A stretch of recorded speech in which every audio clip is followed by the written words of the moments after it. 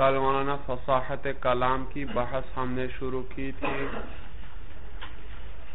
صاحب تلخیص نے آپ کو بتلایا تھا کہ فصاحت فی الکلام کیا ہے۔ کلام کا خالی ہونا، ضعف تعلیف سے، تنافر کلمات سے اور تعقید سے۔ مع فصاحتها ای مع فصاحت الکلمات۔ اور ساتھ ساتھ اس کے کلام کے سارے کلمات کیا ہوں؟ فصیح ہوں بھائی، سارے کر تو یہاں چار شرطیں ذکر ہوئی تھی مولانا، تین عدمی ہیں، ایک وجودی۔ عدمی کیا؟ ضعف تعلیف یہ نہ ہو۔ تنافر کلمات نہ ہو۔ تاقید نہ ہو۔ اور وجودی کیا ہے؟ کہ کلمات سارے کیا ہوں؟ فصیح ہوں۔ فصیح ہوں۔ اس کے بعد علامہ تفتازانی نے آپ کو بتلایا۔ کہ یہ مع فصاحتی یہ حال ہے خلوصہو کی ضمیر سے، بھائی خلوصہو کے آخر میں جو ہا ضمیر ہے، یہ اس سے حال ہے مولانا، حال۔ جی حال ہے۔ اور اس قید کو کیوں ذکر کیا؟ وجہ بتلائی تھی بھائی، تاکہ وہ کلام خارج ہو جائے، جس میں ان تین عیوب میں سے کوئی بھی عیب نہ ہو۔ لیکن پھر بھی اسے ہم مولانا فصیح کلام اس وقت تک نہیں کہیں گے جب تک اس کے سارے کلمات فصیح جیسے آگے تین جملے انہوں نے ذکر کیے زید اجلل شعرہ مستشدر وانفہ مسرج بھائی۔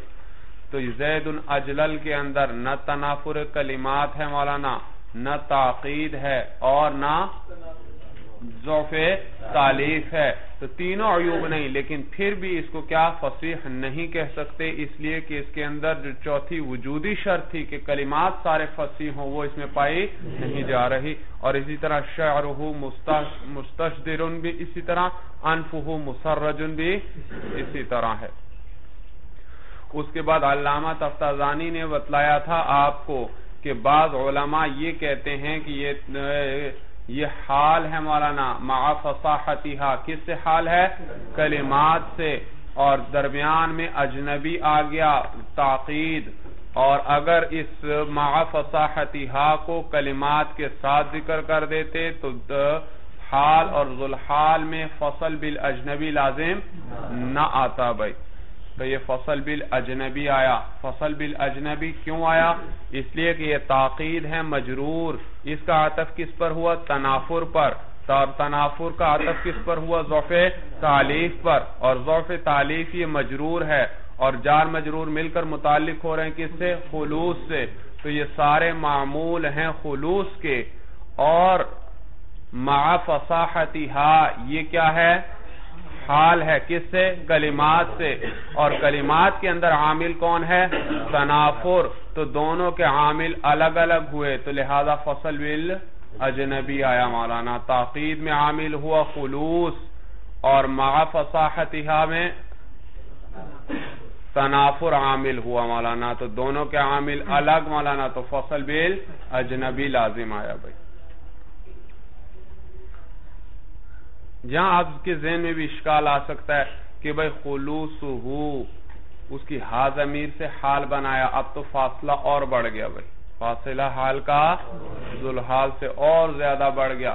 بھائی فاصلہ بڑھنے کی بات نہیں، ہم نے کہا فصل بل اجنبی نہ آئے۔ اور یہاں سارے معمول ہیں مولانا خلوص کے۔ سارے معمول کس کے ہیں؟ حال بھی اور اس سے ماقبل کے سارے وہ بھی معمول ہیں کس کے؟ خلوص کے۔ تو فصل بل اجنبی لازم نہیں آیا بھائی۔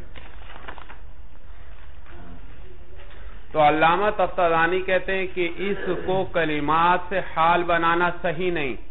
اس لیے کہ اس صورت میں یہ قید بن جائے گی کس کے لیے؟ تنافر کے لیے۔ اس لیے کہ حال جو ہوتا ہے وہ قید ہوتا ہے عامل ذوالحال کے لیے۔ میں کہتا ہوں جانی زید راکبن تو یہ راکبن حال ہے مولانا، کس سے؟ زید سے. اور زید میں عامل کون؟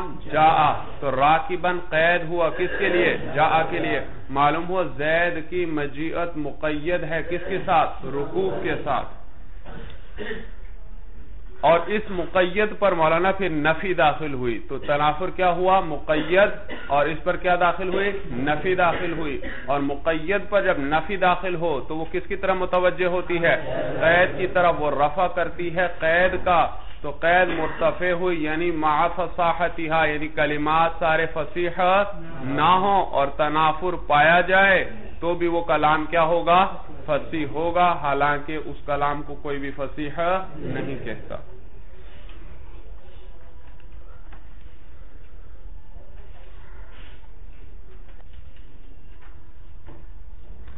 پھر ضعف تعلیف کی بات آئی بھائی۔ یہاں تک بات سب کو سمجھ میں آ گئی تھی بھائی۔ عبارت حل ہو گئی، کوئی مشکل تو نہیں اس میں؟ اس کے بعد ضعف تعلیف بھائی۔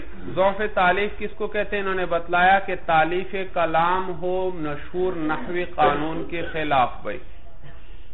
اور میں نے بتلایا تھا مولانا کہ اگر متفقن علیہ قانون کے خلاف ہو جائے، پھر تو کلام ہی فاسد ہے ہاں اگر مشہور قانون کے خلاف ہے ہاں، البتہ بعض کا قول اس کی طرف بھی ہے اس میں، تو پھر اس صورت میں فصاحت سے تو کیا ہوا؟ خارج۔ لیکن کلام پھر بھی کیا رہے گا؟ صحیح رہے گا۔ جیسے ازمار قبل ذکر ہو جائے، مولانا لفظن بھی مانن بھی اور حکمن بھی۔ جیسے زارابا غلام زیدن اب غلام ہو کی حاضمی راجے ہے زید کو اور زید لفظوں کے اعتبار سے بھی مؤخر اور رتبے کے اعتبار سے بھی مؤخر کیونکہ مفعول ہے۔ تو لہذا یہ ازمار قبل ذکر لازم آیا مولانا۔ پھر اس کے بعد تنافر کی بات آئی تھی مولانا۔ تنافر کس کو کہتے ہیں کہ کلمات ایسے کلمات جمع ہو جائیں۔ کہ اگرچہ ان میں سے ہر ایک فصیح ہو، لیکن پھر بھی ان کی زبان پر ادائیگی کیا ہو جائے؟ ثقیل ہو جائے۔ جیسے، لیس قرب قبر ہر بن قبر۔ یہ ایک شیر ذکر کیا مثال کے اندر بھائی۔ تو کہتے ہیں، یہ بڑا ثقیل ہے۔ حتیٰ کہ تین دفعہ اس شیر کو کوئی مسلسل پڑھے تیزی سے تو ضرور اس کی زبان لڑکھڑا جائے گی بھائی۔ اتنا ثقیل یہ شیر ہے بھائی۔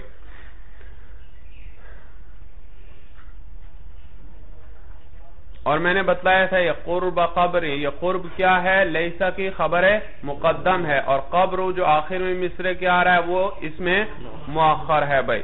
تو یہ جنات کا شیر ہے بھائی۔ اور انہوں نے حرب ابن امیہ کو قتل کیا، جنگل ویرانے میں ان کی قبر بنی اور اس پر پھر یہ شیر کہہ رہے ہیں بھائی۔ تو یہ شیر دو مثالیں بھائی، علامہ تفتزانی یہ صاحب کتاب نے ذکر کی۔ ایک یہ، دوسرا اگلا شیر ہے، کریم متا امدح امدح والورامعی کہ میرا ممدود سخی ہے، ایسا سخی کہ جب میں اس کی مدہ کرتا ہوں تو میں اس کی مدہ کرتا ہوں اس حال میں کہ ساری مخلوق میرے ساتھ ہوتی ہے۔ اور جب کبھی میں اس کو ملامت کرتا ہوں تو میں اس کو ملامت کرتا ہوں اس حال میں کہ وہ کیا ہوتا ہے؟ کہ میں اکیلا ہوتا ہوں بھائی، اکیلا ملامت کرنے والا۔ تو اس کے احسانات اتنے زیادہ ہیں کہ مدہ میں میرے ساتھ سارے شریک ہو جاتے ہیں، لیکن تکلیف اس نے کبھی کسی کو دی نہیں، کوئی وجہ ہے ہی نہیں ملامت کی، تو میرے ساتھ ملامت میں اور کوئی شریک نہیں ہوتا بھائی۔ تو دو اشار اس پر اشکال ہوا کہ بھائی باقیوں کی ایک ایک مثال ذکر کی، اس کے لیے دو مثالیں کیوں ذکر کی؟ تو بتلایا علامہ تفتازانی نے آپ کو کہ بھائی پہلا جو پہلی مثال ہے وہ سقل کے اندر انتہا درجے کو پہنچی ہوئی ہے۔ کیونکہ وہاں کلمات کا اجتماع ہوا، ایسے اور اگرچہ ان میں سے ہر ایک فصیح ہے، لیکن پھر ان کے جمع ہونے کی وجہ سے اب کیا ہوا؟ سقل پیدا۔ اور دوسرے کے اندر ایسے کلمات جمع نہیں ہوئے، بلکہ حروف کی وجہ سے کیا رہا ہے؟ ادائیگی میں تو ام میں ہا اور ہا جمع ہو گئے۔ اس کی وجہ سے معمولی سا سقل پیدا ہو گیا کلام کے اندر بھائی۔ سمجھ میں آیا؟ صرف ہا اور ہا کا جمع ہونا یہ مخل بالفصاحت نہیں، کیونکہ یہ تو خود قرآن میں واقع ہوا ہے مولانا۔ قرآن میں کیا ہے؟ فصبح ہو تو ہا اور ہا جمع ہے۔ ہاں لیکن جب یہ امدہ کا تقرار ہوا تو اب وہ جو سقل تھا وہ دگنا ہو گیا اور اب مخل بالفصاحت ہوا بھائی۔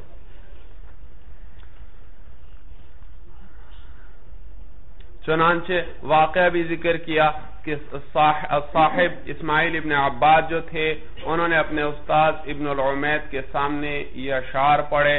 تو استاد نے ان سے پوچھا، کیا تم اس شیر کے اندر کوئی عیب جانتے ہو؟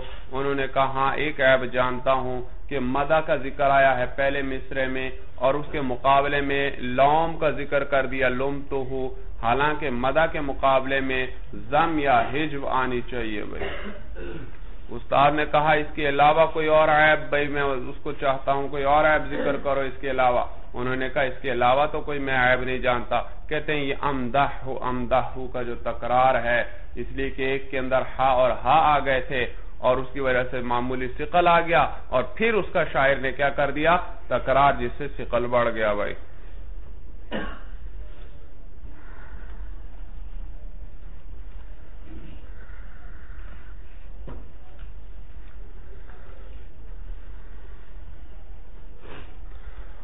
والتعقيد أن لا يكون أن لا يكون ظاهر الدلالة على المراد لخلل، إما في النظم وإما في الانتقال. یہ اگلے سے اگلے صفحے پر آ رہا ہے بھائی. وإما في في الانتقال. تعقید کیا ہے؟ اللہ یکون ظاہر الدلالتی۔ درمیان میں علامہ تفتازانی نے بتلایا، اے کون الکلام معقدن بھائی؟ یہ عبارت کیوں نکالی انہوں نے؟ وجہ یہ مانا تاقید۔ تاقید کا کیا معنی؟ مصدر ہے۔ جی؟ پیچیدگی پیدا کرنا، پیچیدگی لانا بھائی، مشکل لانا بھائی، مشکل۔ سمجھ میں آیا؟ صعوبت، لانا کلام میں۔ اور یہ کس کی صفت ہے؟ متکلم کی۔ وہ کیا کرے گا کلام میں؟ پیچیدگی لانے والا کون ہے؟ متکلم ہے۔ اور ظاہر لا یکون ظاہر الدلال ظاہر الدلالت ہونا یا نہ ہونا، یہ کس کی صفت ہے؟ کلام کی۔ بھائی، کلام ظاہر الدلالت ہوگا یا ظاہر الدلالت؟ تو مولانا، تو وہ تو صفت ہے متکلم کی۔ اور یہ خبر جو ہے، یہ صفت ہے کس کی کلام کی تو مبتدا خبر میں، خبر کا حمل مبتدا پر صحیح نہیں بن رہا تھا۔ تو چنانچہ انہوں نے بتایا کہ تاقید مستر ہے، لیکن مستر کبھی مبنی لیل فائل ہوتا ہے، کبھی مبنی لیل یعنی کبھی مستر مجھول ہوتا ہے، کبھی معروف ہوتا ہے۔ اور پھر معروف ہو تو کبھی وہ کس معنی میں ہو جاتا ہے؟ اس میں فائل کے معنی میں، اور کبھی مستر مجھول ہو تو کس معنی میں ہو جاتا ہے؟ اس میں مفعول کے معنی سمجھ میں آیا بھائی؟ تو مصدر بھی معروف و مجھول آیا کرتا ہے معنی آپ گردان نہیں پڑھتے بھائی؟ ذرا بھائی عزیبو زربن بھائی، یہ ایک مصدر آیا معنی اور کون سے سیغوں کے بعد آیا؟ معروف کے معلوم ہو یہ مصدر بھی کون سا ہے؟ معروف۔ اور پھر آگے پھر گردان پڑھتے ہیں۔ ضروری بھائی زاربن دوبارہ مستر ذکر کیا جاتا ہے۔ کیا بتلانے کے لیے کہ اب کیا ہے؟ یہ مستر مجھول ہے۔ اور نیز اس بات کی طرف بھی اشارہ کیا جاتا ہے کہ جس طرح عربی میں مستر معروف جو ہوتا جو مستر معروف ہوتا ہے مستر مجھول کا بھی وہی وزن ہوتا ہے۔ وہی ہوتا ہے وہاں۔ وہی زربن مستر معروف بھی ہے اور کبھی وہی زربن مستر مجھول بھی ہے مولانا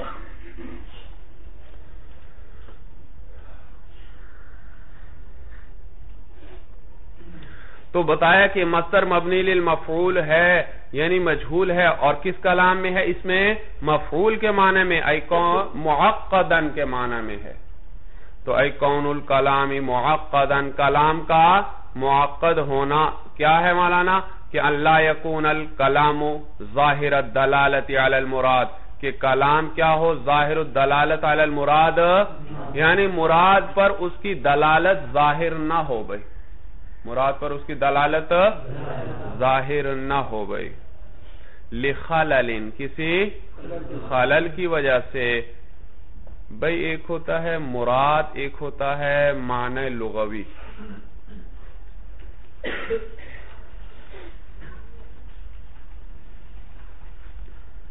کبھی مراد اور معنی لغوی ایک ہوتے ہیں۔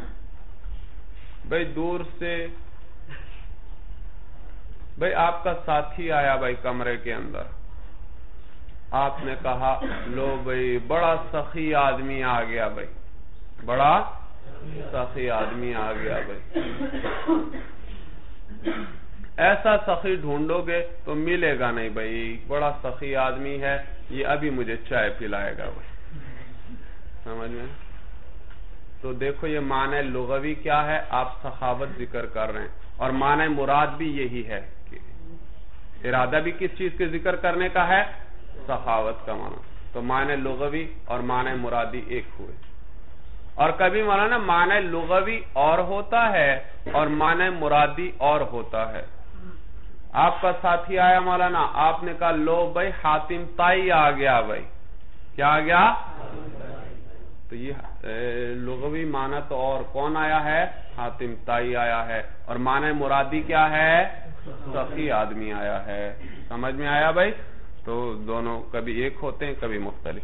تو وہ جو مراد ہے، جس کا ارادہ کیا گیا ہے، اس پر کلام کی دلالت ظاہر نہ ہو۔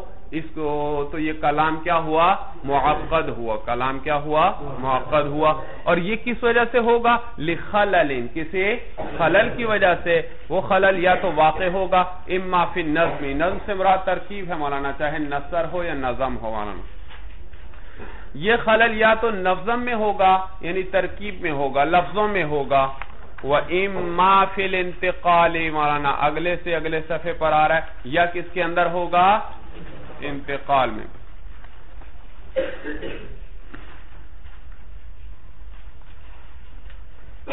سمجھ میں آیا؟ بھئی یا تو لفظوں میں ترکیب میں کوئی خرابی ہے مولانا؟ کیا خرابی ہے؟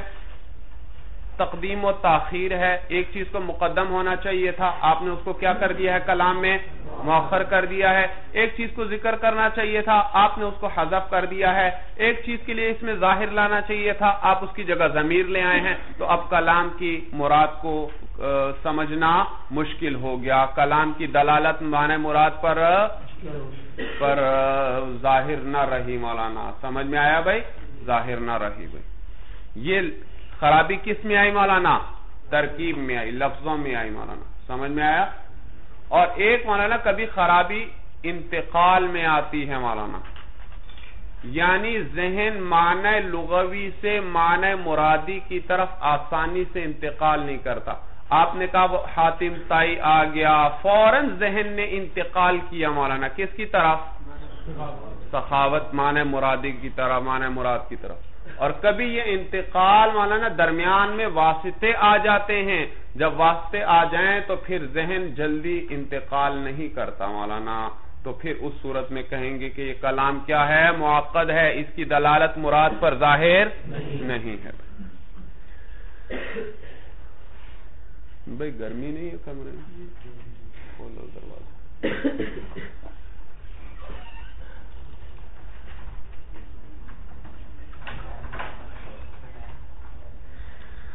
تو یا تو وہ خلل واقع ہوگا اما فی نظمی ترکیب کے اندر بسبب ابھی تقدیم او تاخیر تقدیم و تاخیر کے سبب سے، او حذف یا کس کے سبب سے؟ حذف کے ایک مقام تھا، ذکر کا آپ نے حذف کر دیا، او اسمارین یا آپ کیا لے آئے؟ ضمیر لے آئے، مقام تھا اس میں ظاہر کا، او غیر ذالکہ، یا اس کے علاوہ اور کوئی سبب ہوگا، مما ان چیزوں میں سے یو جبو جو ثابت کرنے والی ہیں صعوبت فہم المرادی مراد کے سمجھنے کے مشکل ہونے کو۔ مراد کا سمجھنا کیا ہو جاتا ہے؟ مشکل ہو جاتا ہے۔ ان کی وجہ سے بھائی۔ كقول الفرزدق في مدح خال هشام بن عبد الملك بن مروان وهو ابراهيم بن هشام بن اسماعیل المخزومی۔ جیسے فرزدق کہتا ہے مولانا فرزدق بھائی۔ یہ بہت بڑا شاعر گزرا ہے مولانا۔ یہ پہلی صدی کا تقریباً جی پہلی صدی۔ بڑا شاعر گزرا تو وہ تعریف کرتا ہے، خال کہتے ہیں مامو کو مولانا۔ ہشام ابن عبد الملک ابن مروان جو ہے خلیفہ، اس کے مامو کی مدہ بیان کر رہا ہے۔ اور مامو وہ کون ہے بھائی اس کا؟ کہتے ہیں وہ ابراہیم۔ وہ کون ہے؟ مامو ابراہیم۔ ابن ہشام ابن اسماعیل مخزومی ہے بھائی۔ تو خلیفہ کون ہوا مولانا ہشام ابن عبد الملک اور اس کا مامو کون ہوا؟ ابراہیم ابن ہشام مولانا ابراہیم ابن۔ اور یہ مدہ کس کی کر رہا ہے؟ ابراہیم ابن ہشام۔ جی اس کے مامو وما شعر، وما مثلہ فی الناس الا مملکا ابو امہ حی، ابوہ یقاربہ جی آگے بعد میں چلتے ہیں۔ پہلے شعر کو اچھی طرح سمجھ لیں، اس کی ترجمہ، ترجمے وغیرہ۔ جی۔,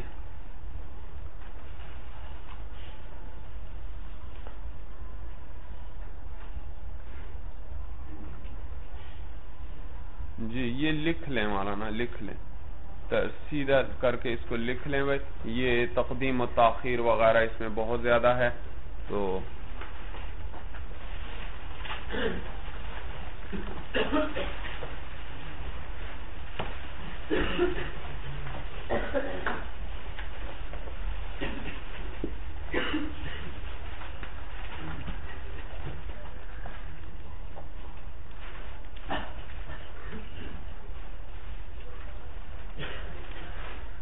وما مثله في الناس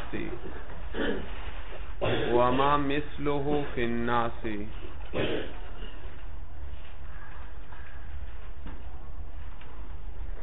حي يقاربه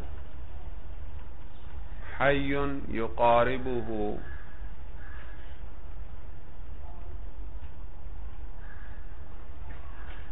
إلا مملك إلا مملك أبو أمه أبوه إلا مملك أبو أمه أبوه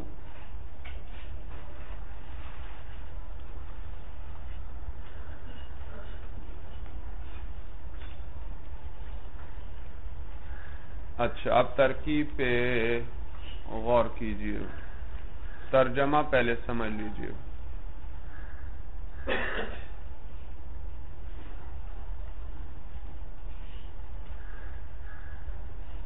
بھائی بطور تمہیب کی یہ بات سمجھ لو بھائی ماں کا باپ اور ماموں کا باپ ایک ہوتا ہے بھائی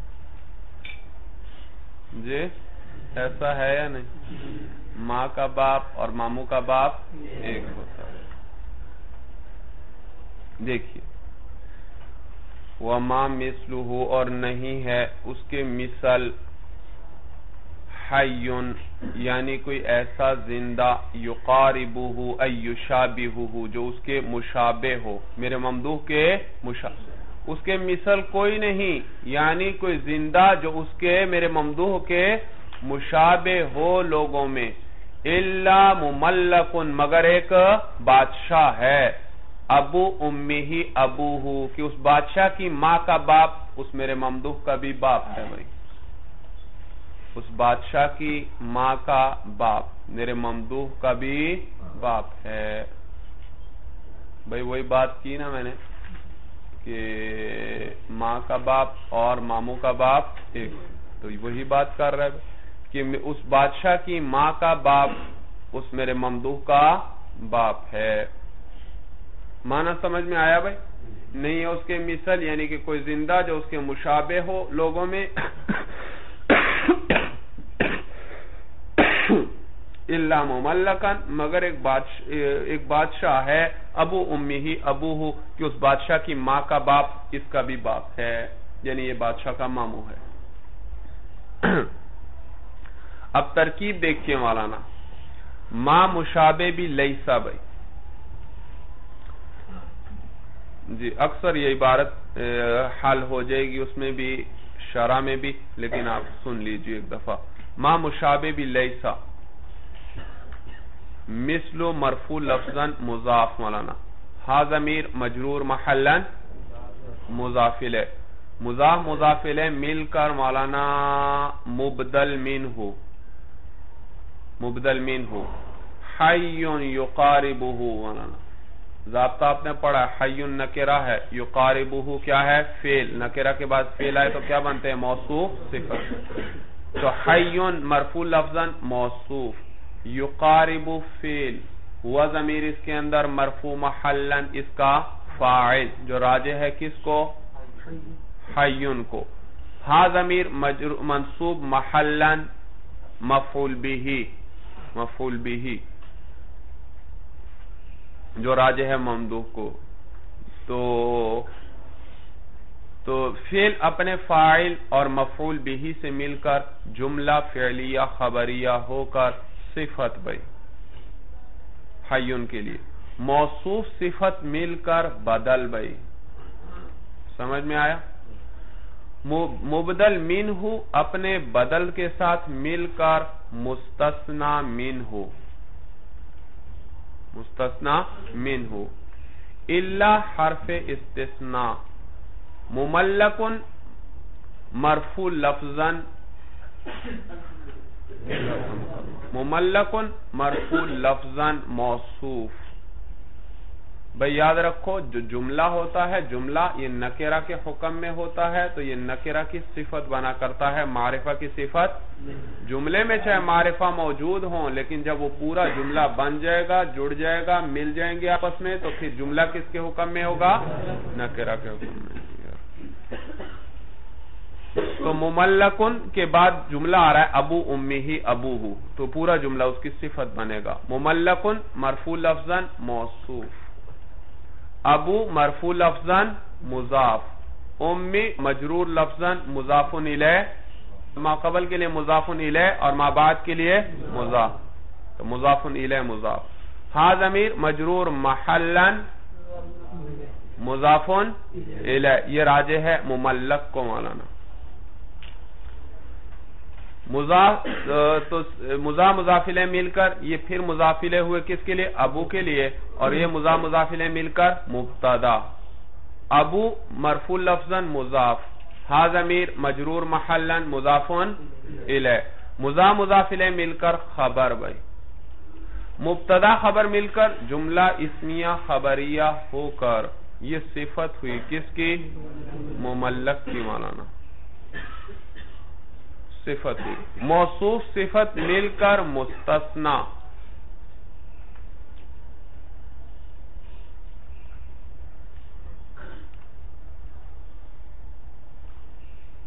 یا مملکن پڑھیں۔ مملکن۔ یہ کیا ہوا؟ مملکن پڑھیں۔ یہ مستثنا ہوا مولانا مملکن منصوب پڑھیں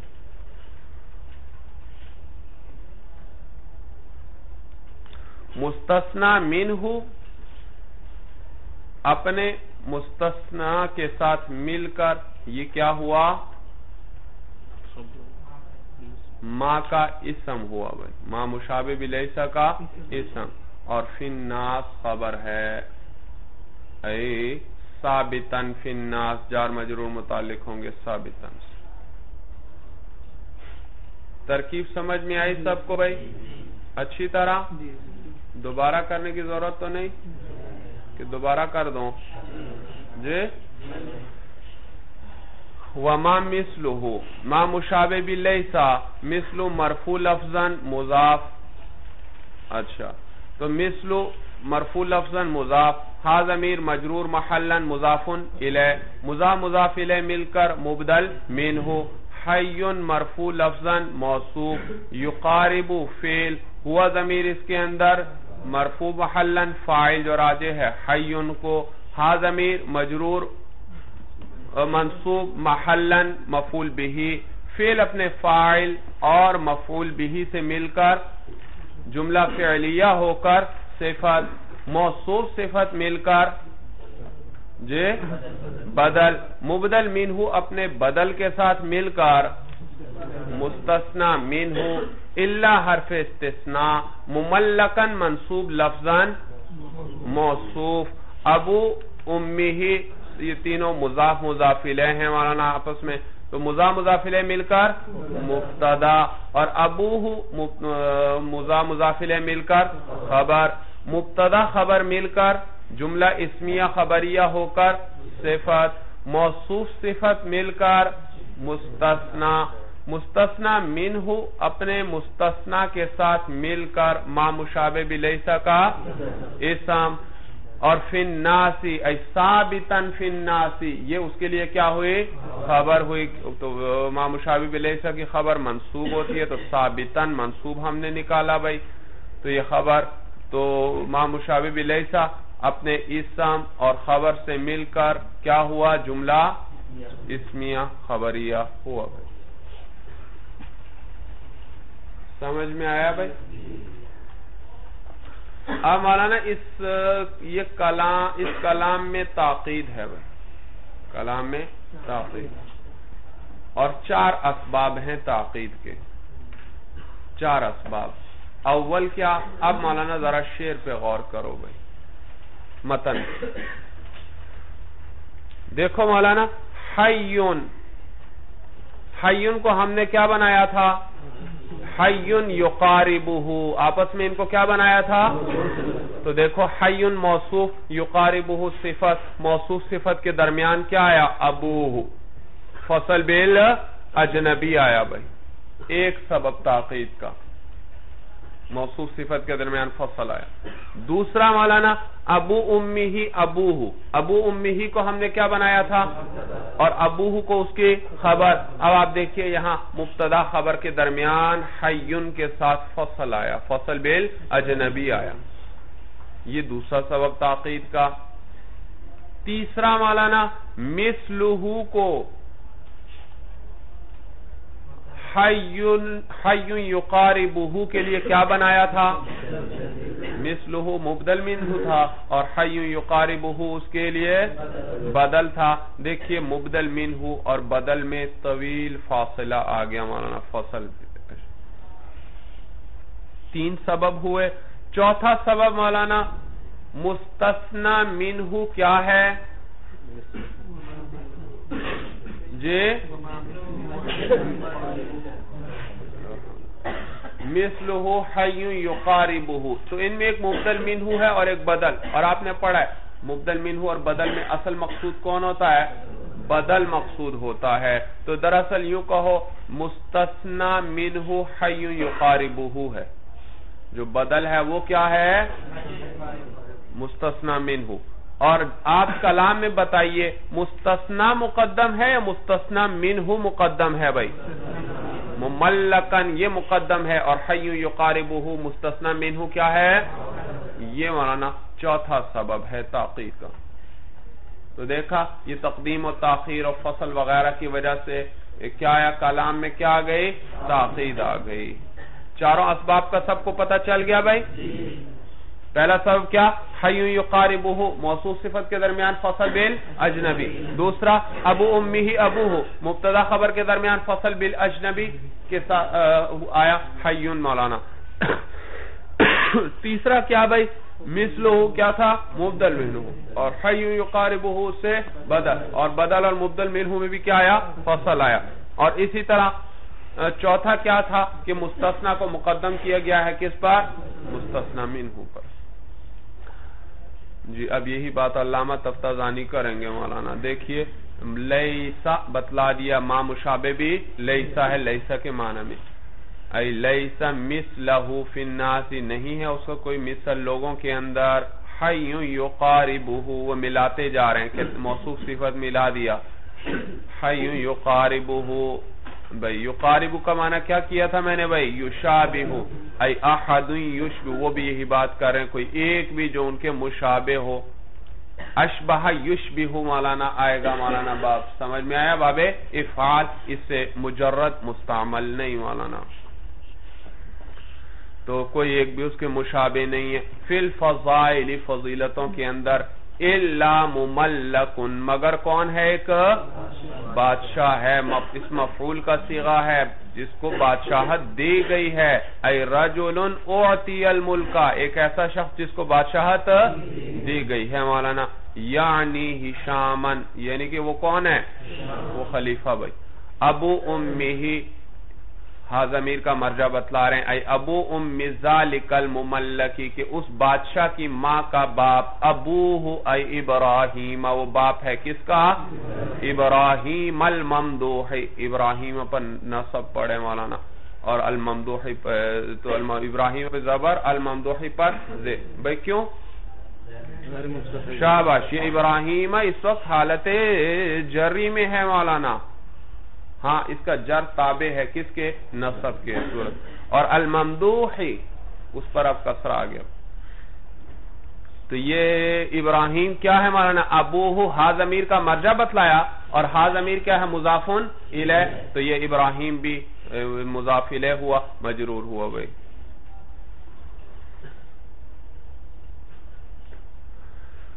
ابوہ یعنی ابراہیم ممدوح کا باپ ہے بھائی۔ ای لا یماثلہ احد کوئی اس بادشاہ کے کوئی ایک بھی اس میرے ممدوح کے کوئی ایک بھی مماثل نہیں ہے۔ الا بنا اختہ مگر جی؟ جی۔ وہ ہوا ہشام، اور وہ ہشام ہے، وہ اس کے مشابہ ہے۔ ففیہ فصل بین المبتدع والخبر اس کلام میں فصل آیا مولانا مبتدا اور خبر کے بیچ۔ آنی، وہ کون ہے مبتدا خبر؟ ابو امی ہی ابو ہو یعنی کہ ابو امی ابو کے درمیان۔ بال اجنبی اجنبی کے ساتھ الذي هو حی، جو کیا ہے؟ حی۔ وبین الموصوف والصفت اور موصوف صفت کے درمیان فصل آیا۔ آنی حی یقاربه ان کے درمیان فصل آیا۔ بال اجنبی اجنبی کے ساتھ، اور الذي هو ابو ہو وہ کیا لفظ ہے؟ ابو ہو وہ تقدیم المستثنا آنی مملکن علی المستثنا منہ اور تقدیم ہے مستثنا کی کس پر؟ یعنی کہ مملک کی کس پر؟ مستثنا منہ پر. آنی حیون یعنی کہ حیون پر. وہ فصل کثیر بین البدلی اور بڑا، کثیر فصل ہے بدل کے درمیان. اور بدل کون ہے؟ وہ ہوا حیون ہے. والمبدل منہ، اور مبدل منہ کے درمیان. وہ ہوا مثلہ، اور وہ کیا ہے؟ مثلہ. فقولہ مثلہ یہ مثلہ جو ہے، اسم ما، یہ ما کا کیا ہے؟ اسم ہے۔ وفی الناس خبرہ، اور فی الناس اس کے خبر ہے مولانا۔ وہ مملکن منصوب۔ بھئی دیکھئے مولانا، مملکن شیر میں تھا منصوب۔ آگے مولانا، آگے جب صاحب تلخیص اس کو درست کرتے ہیں تو کیسے درست کرتے ہیں؟ آئی دیکھو، یہ متن بیچ بیچ میں آیا ہے لکیر نہیں لگی ہوئی۔ آئی حیون یقاربہ یہ بھی متن ہے۔ اللہ مملکن، آتا ہے آگے، وہ بھی متن ہے۔ آگے ابو امی ہی آتا ہے، یہ بھی متن ہے۔ ابو یہ بھی متن ہے۔ ملا بھائی؟ بھئی یقاربہو کے بعد ائی آیا، یہ بھی متن ہے مولانا۔ شیر کے فوراں بعد۔ اس سے آگے آ رہا ہے حی یقاربہو، یہ بھی متن ہے مولانا۔ آگے آ رہا ہے اللہ مملکن اگلی سطر میں، یہ بھی متن ہے بھئی۔ آگے ابو امی ہی آ رہا ہے بھئی، یہ بھی کیا ہے؟ متن ہے۔ اور ابو یہ آ رہا ہے مولانا، یہ بھی کیا ہے؟ متن ہے۔ تو صاحب تلخیص خود اس عبارت کی درست ترکیب کو درست کر رہے ہیں مولانا، اور شعر کے اندر تو تھا اللہ مملکن منصوب، اور صاحب تلخیص نے آگے نکالا اللہ مملکن مرفو بھائی۔ اللہ مملکن مملکن مرفو نکالا۔ بھائی مستثنا با اللہ اللہ کے ساتھ جو مستثنا آتا ہے، اس کا اعراب یاد ہے آپ کو بھائی؟ بڑی مشکل بحث ہے، یاد نہیں ہوتی بھائی۔ جی؟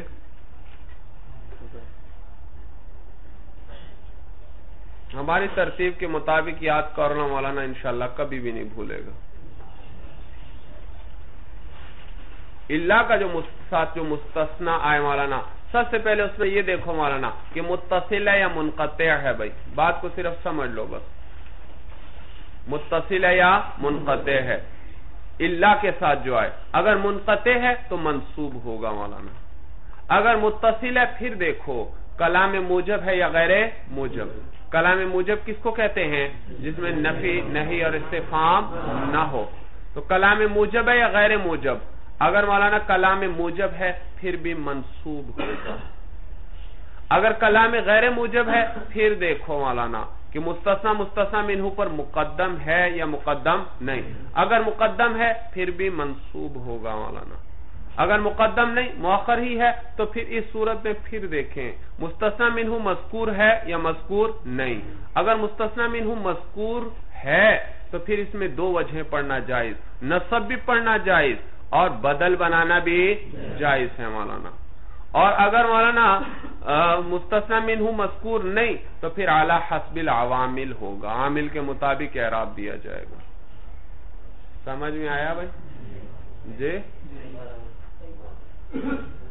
یہ تو نقشہ بنانا پڑتا ہے۔ بھائی، ان کو پھر نقشہ بنا کر دکھاؤ کسی کو سمجھ میں آیا بھائی؟ سب سے پہلے کیا دیکھیں گے؟ یہ نقشہ آپ کو بنا دیں گے۔ بھائی، اس نقشے سے بالکل آسان ہے سمجھنا۔ کہ دیکھو مستثنا متصل ہے یا منقطع؟ اگر منقطع ہے تو منصوب پھر دیکھو اگر متصل ہے کلام موجب ہے یا؟ اگر موجب ہے پھر بھی منصوب اگر مولانا کلام غیر موجب ہے، پھر دیکھو۔ مستثنا مستثنا منہ پر مقدم ہے یا مقدم؟ اگر مقدم ہے تو پھر بھی منصوب اگر مقدم نہیں اپنی جگہ پر ہے تو پھر دیکھو مستثنا منہ مذکور ہے عبارت میں یا مذکور نہیں؟ اگر مذکور ہے تو دو وجہ پڑھنا جائز۔ ایک وہی وجہ، کیا؟ نصب پڑھ لو۔ دوسری کیا؟ بدل بنا لو۔ جو اس کا عراب ہے مستثنا منہ کا، وہی کس کو دے دو؟ مستثنا کو بھی بھائی کہ مبدل منہ اور بدل کا عراب ایک ہوتا ہے۔ اور اگر مستثنا منہ عبارت میں ذکر نہیں تو پھر اس صورت میں حسب العوامل ہو جائے گا۔ سمجھ میں آیا بھائی؟ جی۔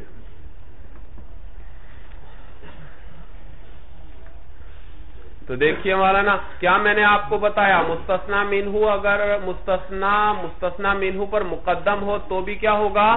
وہی بات کر رہے ہیں۔ وہ مملکن منصوب لتقدمه علی المستثنا مینہ اور مملکن منصوب ہے شعر کے اندر کیونکہ وہ مقدم ہے کس پر مستثنا اور چونکہ جو پھر انہوں نے جو ترکیب کی، اس میں انہوں نے مؤخر کر دیا بھائی۔ کیا کیا؟ مؤخر کر دیا مولانا۔ حیون یقاربہو، جو مستثنا منہ تھا، اس کو کیا کر دیا؟ آئی کے بعد جو عبارت نکالی بھائی، انہوں نے کیا کر دیا؟ مستثنا منہ کو مقدم۔ تو مستثنا اپنی جگہ پر آ گیا۔ جب اپنی جگہ پر آ گیا تو اب اس میں دو وجہ پڑھنا جائز تھی اس کو بدل بنانا بھی جائز اور اس پر نصب پڑھنا بھی جائز۔ لیکن بدل بنانا اولا ہے بھائی۔ کیا بنانا؟ اور حیون مرفو ہے۔ تو مملکن کو بھی کیا پڑھ دیا؟ مرفو پڑھ دیا یہاں تک سب کو بات سمجھ میں آئی۔ اب بازوں نے اس پر اشکال ذکر کیا۔ بعض علماء کہتے ہیں، جب ضعف تعلیف کو ذکر کر دیا تھا، تو پھر تاقید لفظی کو ذکر کر یہ تاقید لفظی کے ذکر کی ضرورت نہیں بھائی۔ تاقید لفظی کے ذکر کی؟ بھائی اس لیے کہ ضعف تعلیف کیا کہا تھا؟ کلام مشہور نحوی قانون کے خلاف ہو۔ اور یہاں تاقید لفظی میں بھی کیا ہو رہا ہے مولانا؟ یہ نحوی قانون کی خلاف ورزی ہو رہی ہے۔ فصل بل اجنبی لایا جا رہا ہے۔ تو وہ تو اسی تاقید ضعف تعلیف میں آ گیا تھا۔ اس کو علیحدہ ذکر کرنے کی کوئی ضرورت نہیں تھی۔ علامہ تفتزانی اس کو رد کرتے ہیں، کہتے ہیں، نہیں بھائی، اس کو علیحدہ ذکر کرنے کی ضرورت تھی۔ اس لیے کہ ہو سکتا ہے کہ کلام میں، کلام ہو تو نحوی قوانین کے مطابق، لیکن اس میں چند ایسے امور جمع ہو جائیں۔ وہ سب کے سب ہیں تو نحوی قانون کے مطابق، لیکن ان کے جمع ہونے کی وجہ سے کلام کیا ہو، اس کے معنی کو سمجھنا دشوار ہو جائے۔ یہ ممکن ہے۔ سمجھ میں آیا بھائی؟ اس لیے اس کو ذکر کرنا چاہیے۔ قیل ذکر ذوف تعلیف یغنی عن ذکر تاقید اللفظی کہا گیا ہے کہ ذوف تعلیف کا ذکر یہ مستغنی کر دیتا ہے۔ کہ بے پرواہ کر دے والا ہے۔ کس سے؟ عن ذکر تاقید لفظی کس سے مولانا تاقید لفظی کے ذکر سے۔ وفیہ نظر۔ اور اس میں کیا ہے؟ اس قول میں نظر ہے۔ علامہ تصدانی فرماتے ہیں، لجواز ان یحصل التاقید باجتماع عدت امور۔ اس لیے کہ ممکن ہے کہ حاصل ہو جائے تاقید چند ایسے امور کے جمع ہونے کے ساتھ۔ موجبتین جو ثابت کرنے والے ہوں لسعوبت فہم المراد، مراد کے سمجھنے کے مشکل کو یعنی وہ اس کی مشکل ہونے کو ثابت کر دیتے ہوں یعنی مشکل بنا دیتے ہوں۔ وہ ان کا نقل منہا جاری اعلی قانون اگرچہ ان میں سے ہر ایک جاری ہو، کس پر مولانا؟ قانون نحو پر جاری ہو، مولانا۔ سمجھ میں آیا بھائی؟ وہ بحاظہ یظہر فساد ماقیلا اور اس سے ظاہر ہو گیا فساد اس کا، وہ جو کہا گیا ہے اس قول کا کہ انہو لا حاجت فی بیان تاقید فی البیتی الى ذکر تقدیم المستثنى علی المستثنى منہ، بل لا وجہ لہو بعضوں نے یہ کہا کہ بھئی یہ تاقید کے اسباب میں یہ ذکر کرنے کی ضرورت نہیں تھی کہ مستثنى کو مقدم کیا گیا ہے. کس پر؟ مستثنى کیوں؟ یہ تو ناوی قانون کے مطابق ہے بھائی کبھی کیا کیا جاتا ہے؟ مستثنا کو مستثنا منہو پر؟ تو اس کو ذکر کرنے کی کوئی ضرورت؟ کہتے ہیں نہیں بھائی، علامہ تفتانی کہتے ہیں بھائی، اس قول کا بطلان بھی، اس کا فاسد ہونا بھی ظاہر ہو گیا۔ اس لیے کہ اگرچہ یہ ہے تو کس کے مطابق؟ نحوی قانون کے مطابق، لیکن اس وقت اس کی وجہ سے کلام میں تاقید بڑھ رہی ہے۔ تاقید بڑھ رہی ہے۔ تو کہتے ہیں بات وہی ہے جو ہم نے کی کہ دیکھو، ہے نحوی قانون کے مطابق، لیکن اس کی وجہ سے کلام میں کیا پیدا ہو رہی ہے؟ تاقید پیدا ہو رہی ہے، بڑھ رہی ہے تو اس قول کا فساد بھی ظاہر ہوا جو کہا گیا کہ کوئی حاجت نہیں تھی بیان تاقید کہ شعر کے اندر تاقید کے بیان میں کس چیز کی ضرورت نہیں تھی؟ ذکر تقدیم مستثنا علی المستثنا منہو مستثنا کے مستثنا منہو پر تقدیم کی وجہ کو، بل لا وجہ لہو بلکہ اس کی تو کوئی وجہ ہی نہیں ہے، اس کو تو ذکر کرنا ہی نہیں چاہیے تھا۔ لین نظال کا جائز بھی اتفاق نحات اس لیے کہ یہ تو نحویوں کے اتفاق کے ساتھ جائز ہے۔ از لا یخفا علامہ تفتزانی فرماتے ہیں کہ یہ اس قول کا فساد بھی ظاہر ہوا۔ کیونکہ یہ بات مخفی نہیں ہے کہ انہو یوجب زیادت تاقیدی کہ یہ تقدیم مستثنا یہ ثابت کرنے والی ہے کس چیز کو، زیادت تاقید کو وہ مما یقبل الشدت شدت و ضعفا اور تاقید ان چیزوں میں سے ہے جو شدت و ضعف کو قبول کرنے والی ہے۔ یعنی کلی مشکک ہے، اس میں کمی بیشی ہو سکتی ہے۔ جیسے سفیدی ہے، ایک چیز کم سفید ہے، ایک چیز زیادہ سفید ہے۔ تو یہ بھی اسی طرح ہے، یہ کم بھی ہو سکتی ہے، زیادہ بھی ہو سکتی ہے۔ تو یہاں بھی اس تقدیم کی وجہ سے تاخیر کیا ہو گئی؟ زیادہ ہو گئی۔ یہ کمی زیادتی کو قبول کرتی ہے۔ تو اس، یہ سبب بنا اس میں زیادتی کا بھائی۔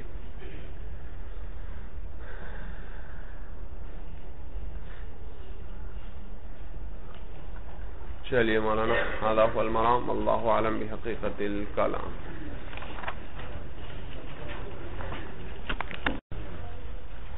اب آپ کیا کہہ رہے تھے؟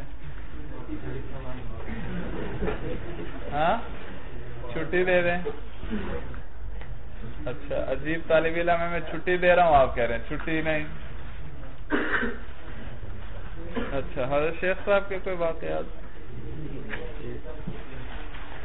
اللہ.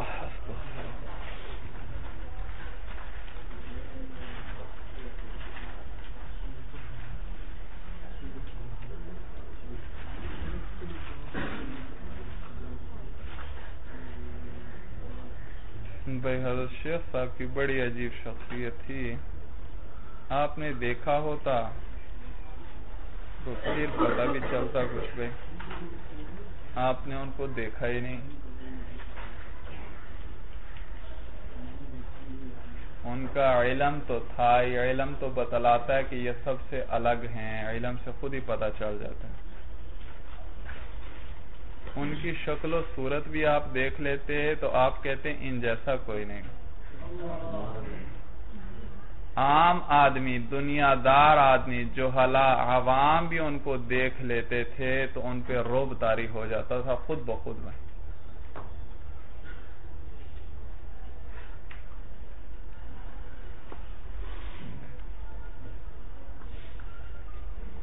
شیخ کے شاگرد نے ایک واقعہ سنایا۔ وفات کے سارے واقعات ہمیں والد صاحب خود تو کبھی کوئی ذکر نہیں کرتے تھے، ان کا جلال اتنا زیادہ تھا کوئی۔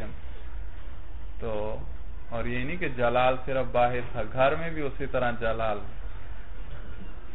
بڑی جلالی طبیعت تھی۔ کسی کو کوئی صورت بے ادبی ہو جائے تو کبھی نہیں معاف کرتے۔ ایسا ڈانٹتے تھے کہ ساری عمر دوبارہ وہ غلطی نہیں ہوتی تھی آدمی۔ جو شاگرد تھے، پڑھنے آتے تھے، کہتے ہم نے آٹھ آٹھ سال، سات سات سال دوسری جگہوں پر پڑھا، دس دس سال پڑھا، حضرت شیخ کے پاس آ کر ایک سال پڑھا، ہم نے وہ وہ چیزیں اور ادب، وہ وہ چیزیں معلوم ہو گئیں۔ ادب معلوم ہوا کہ ادب کس چیز کا نام ہے کہ ہمیں سات آٹھ سالوں میں، دس سالوں میں بھی ان کا پتہ نہیں چلا۔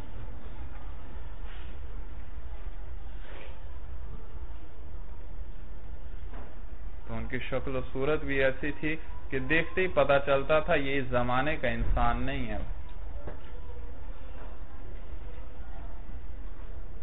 تو وہ شاگرد بتا رہے ایک مرتبہ میں جمعے کی نماز میں تھا، تو حضرت شیخ صاحب کی عادت تھی، بھائی جمعے کی نماز کے بعد وہیں نوافل وغیرہ سنتیں پڑھتے، پھر نوافل پڑھتے رہتے، بڑی دیر تک تقریباً مسجد بالکل خالی ہو جاتی، پھر اس کے بعد وہ نکل کر آتے تھے۔ تو کہتے ہیں اسی طرح ایک دن میں کھڑا ہوا تھا بھی حضرت شیخ صاحب سامنے سہن کے میں اگلے حصے میں نوافل میں مشغول ہیں اور سہن کے وقت میں چھ سات کالج کے لڑکے کھڑے ہوئے ہیں بھائی، نوجوان آپس میں گپ شپ لگا رہے ہیں بھائی، نماز ہو چکی ہے، لوگ جا چکے ہیں، بڑے زور و شور سے ان کی بحث جاری ہے، باتیں ہو رہی ہیں۔ تو حضرت شیخ صاحب نفل ختم کیے، اٹھے، اپنا مسلح اٹھایا اور چل پڑے۔ تو ان کے قریب سے گزر رہے تھے ابھی، تو ابھی ذرا کچھ فاصلے میں نہیں ان تک پہنچے نہیں، تو ان کی ایک دو کی نظر پڑ گئی۔ وہ ان کی طرف دیکھنے لگے، پھر سارے ان کی طرف دیکھنے لگ پڑے، وہ جتنے کھڑے ہوئے تھے۔ تو باتیں ساتیں سب بھول گئے، ختم گئے ان کو دیکھ رہے ہیں، حضرت شیخ آہستہ آہستہ چلتے ہوئے، ان کے پاس سے گزرتے ہوئے چل رہے ہیں، آرام آرام سے گئے، مسجد کے دروازے تک پہنچے۔ جوتے پہنے اور وہ باہر چلے گئے گھر کی طرف۔ اور کہتے ہیں، میں دیکھ رہا ہوں، یہ جو ہے انہوں نے باتیں ختم کر دی اور ساتھ ساتھ دیکھتے جا رہے ہیں، مڑتے جا رہے ہیں، جدھر کو وہ جا رہے ہیں، یہاں تک کہ وہ نظروں سے اوجھل ہو گئے۔ میں بڑا حیران وہی کہ میں قریب ہو بھائی، کیا بات ہے؟ خیریت ہے، آپ دیکھ رہے ہیں حضرت شیخ کہتے ہیں، وہ ایسے حیرت میں ڈوبے ہوئے لہجوں میں جواب دے دیں انہوں نے جواب دیا کہ یہ شخص اس زمانے کا تو نہیں لگتا۔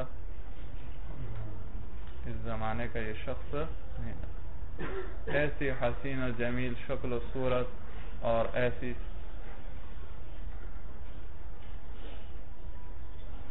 حضرت مولانا طارق جمیل صاحب کی ملاقات ہوئی۔ کہنے لگے بعد میں ملاقات کے بعد کسی کو کہا، بھائی کہ یہ تو اس زمانے کا آدمی نہیں لگتا، یہ تو یوں لگتا ہے کوئی وہ قدیم زمانے کا صحابہ وغیرہ کے زمانے کا کوئی شخص ہے، کوئی روح تھی جو پیچھے رہ گئی تھی جس کو اللہ نے آج انسان کی شکل میں بھیج دیا۔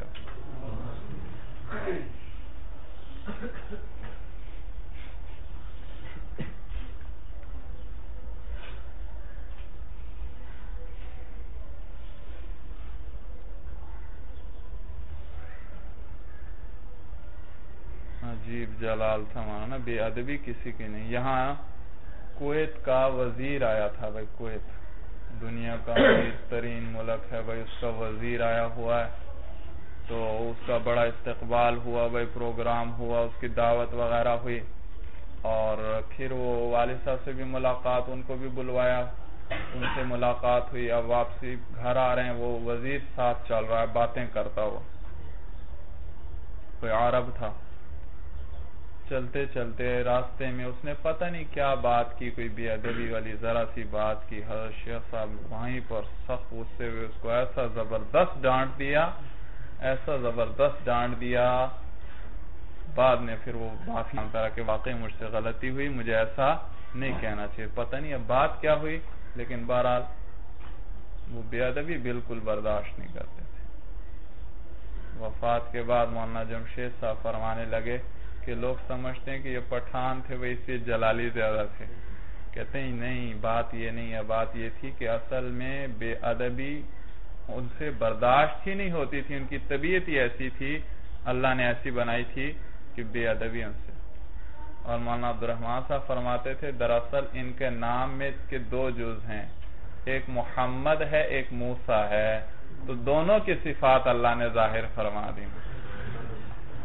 موسیٰ علیہ السلام بھی بڑی جلالی طبیعت والے تھے۔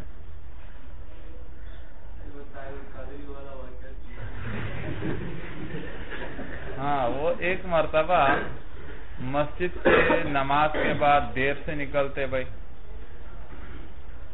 تو نماز پڑھ کے نکلے، مسجد لوگ نکل چکے ہیں۔ ادھر باہر جو ہے، طاہر القادری آیا۔ اور پوجیرو سے اترا۔ گن مین وغیرہ ساتھ ہیں اور بڑے اس نے جو ہے کپڑے وغیرہ پہنے ہوئے جوتے اور بڑا۔ تو کھڑا ہوا ہے باہر۔ تو طلبہ کی تو عادت ہے، کوئی چیز نظر آ جائے، بس۔ گھیر لیا سب نے سارے کھڑے ہوئے تماشا کر رہے ہیں جی۔ خلائی مخلوق کوئی آئی ہوئی ہے۔ تو مولانا عبد الرحمان صاحب بھی نکلے تو طاہر القادری ان سے ملا تو باتیں ہو رہی تو حضرت شیخ صاحب مسجد سے آہستہ آہستہ نکلے، جوتے پہنے، آرام آرام سے آئے۔ تو مجمع بڑا لگا ہوا خیر وہ آرام سے پاس سے گزرنے لگے۔ تو مولانا عبد الرحمان صاحب نے فرمایا کہ حضرت یہ پروفیسر ڈاکٹر علامہ طاہر القادری صاحب آئے ہوئے ہیں۔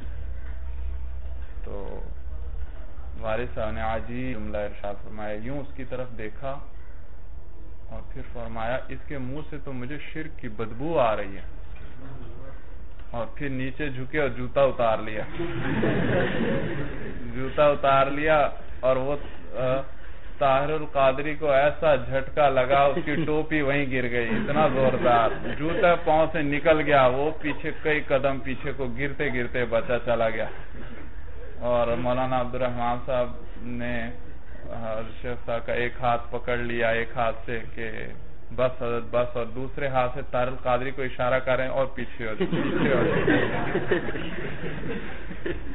اچھا تو وہ گن مین وغیرہ بھی ساتھ کھڑے ہیں، وہ آگے ہوا، پھر اس نے جو ہے نا وہ جوتا اور ٹوپی اٹھائی، علامہ صاحب کو دی، علامہ صاحب نے پہنی۔ اور بڑے غصے میں جی اپنی پجاروں میں بیٹھے اور سیدھے نکل گئے۔ وہ دن اور آج کا دن کبھی جامع ہوئے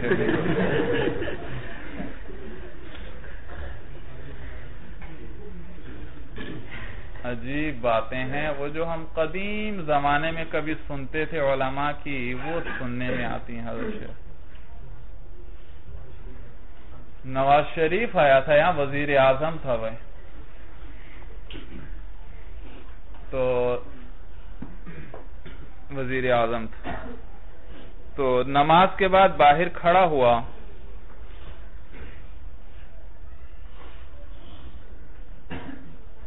غالباً کسی کا جنازہ تھا۔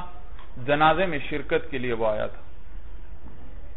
اور وزیر اعظم ہے بھائی تو دروازے میں کھڑا ہے۔ تو اور لوگ بھی کھڑے ہیں۔ مولانا عبد الرحمان صاحب بھی ان کے ساتھ کھڑے ہیں۔ ان کے ساتھ باتیں ہو رہی ہیں۔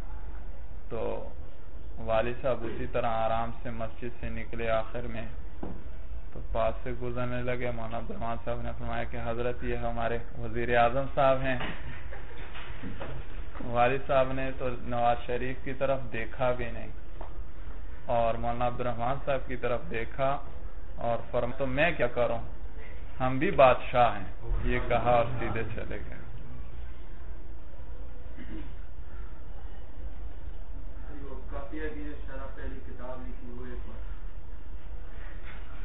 کون سا ہاں.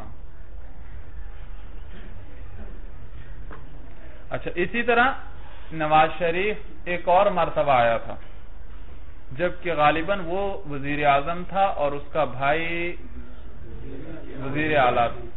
ہاں تو وہ آئے تھے صرف یہاں علماء سے ملاقات کے لیے۔ تو دروازے میں کھڑے مسجد کے علماء سے مل رہے ہیں، والد صاحب آئے تو کھڑے میں تو والد صاحب آہستہ آہستہ اتر کر پاس سے گزرنے لگے تو کہا گیا ان سے کہ حضرت یہ ہمارے وزیر اعلیٰ اور وزیر اعظم ہیں تو دعا کے لیے آئے ہیں، دعا چاہتے ہیں۔ ان دنوں انہوں نے غالباً سود کے خلاف ریٹ کی ہوئی تھی۔ سود کا مسئلہ چل رہا تھا، بڑا اخبارات میں آ رہا تھا۔ دعا کے لیے آئے ہیں۔ ایک دم کھڑے ہوئے، بڑے غصے سے دیکھا، فرمایا، میں اس کے لیے دعا کروں جس نے سارے ملک میں سود کو پھیلا دیا۔ بہت غصے سے یہ کہا اور پھر سیدھے ہوئے اور چل پڑے۔ نواز شریف تیزی سے دو تین قدم آگے ہوا اور کہا، حضرت غلطی ہو گئی، معاف فرما دیں۔ تو والد صاحب ایک دم رکے، پیچھے کو مڑے دیکھا اور بڑے تنزیہ اور غصے والے لہجے میں کہا اچھا اب معافی بھی مانگتے ہو۔ اور پھر واپس مڑے اور سیدھے چلے گئے۔ دعا پھر بھی نہیں کی اس کے لیے۔ دعا پھر بھی نہیں۔ یعنی عجیب شخص وہ جو ہم سنتے تھے، ہمارے علماء بادشاہوں ان سے ڈرا کرتے تھے، بھائی بالکل بے ہی وہ حالت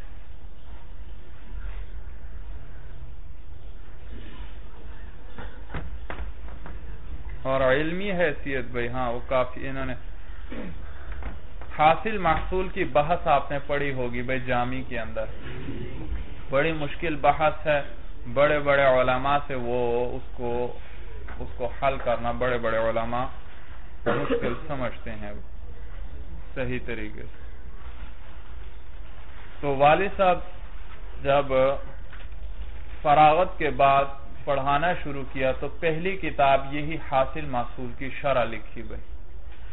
آج بھی اب موجود ہے کہ تو نظر ثانے والا کی تقریباً وہ حاصل محصول کو ایک صفحہ بنتا ہے یا ڈیڑھ صفحہ بنتا ہے تو اس کی شرح ہے۔ تقریباً ساڑھے چار سو صفحے میں کی۔ تو یہ کتاب جب تصنیف کی، کہتے ہیں ابتدائی زمانہ تھا، تو میں ٹرین میں مفتی محمود رحمہ اللہ تعالی رحمتا واسعا ان کے ساتھ سفر کر رہا تھا۔ تو کچھ اور علماء، کوئٹہ وغیرہ کے علماء بھی موجود تھے۔ تو میں نے یہ کتاب اسی وقت کچھ عرصہ وہ چھپ کے آئی تھی۔ میں نے ایک نسخہ کوئٹہ کے ایک عالم دین تھے، بوڑھے تھے۔ ان کو ایک کتاب یہ ہدیہ میں دی کہ یہ میری طرف سے آپ ہدیہ رکھیں۔ انہوں نے کتاب اٹھائی، بیٹھ گئے، پڑھنا شروع کی۔ ابھی ایک ڈیڑھ صفحہ ہی دیکھا تھا کہ اٹھ کر اٹھے اور جیب سے دس روپے نکالے اور مجھے انعام کے طور پر دیے دس روپے بھی اس زمانے میں بڑی دولت تھی۔ دس روپے مجھے دی۔ مفتی محمود صاحب ہنسنے لگے اور فرمایا، کیا ہوا؟ ابھی آپ نے ایک صفحہ نہیں دیکھا اور آپ دس روپے اتنی بڑی رقم انعام میں دے رہے ہیں۔ انہوں نے کہا، میں چالیس سال سے شرح جامی پڑھا رہا ہوں۔ چالیس سال سے۔ کتنی تحقیقات ہوں گی ان کی۔ اور اس کتاب کے پہلے صفحے پر جو بات لکھی ہے، وہ مجھے معلوم نہیں تھی۔ آج مجھے پتا چلی۔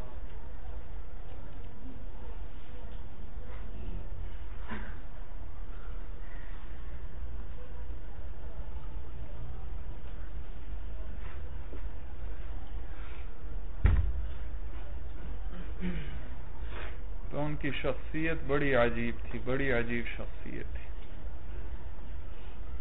جہاں جاتے تھے، ان کو میں نے بتایا نا، ان کی شکل و صورت ایسی عجیب، ایسی باروب اور ایسی وہ من کان اللہ کان اللہ لہو، جو اللہ والا ہو جاتا ہے، ساری مخلوق اس کی ہو جاتی ہے، اس کی عملی مثال ہمارے سامنے آتی تھی۔ ہر شخص تابع ہو جاتا تھا، خود بخود تابع ہو جاتا تھا، دیکھتے ہی۔ بڑے بڑے حکام۔ اور عجیب والد صاحب کا بھی شاہانہ مزاج تھا بھائی۔ صرف جاہو جلال نہیں تھا ان کا، بلکہ شاہانہ جاہو جلال تھا بھائی۔ بادشاہوں کی طرح رہتے تھے۔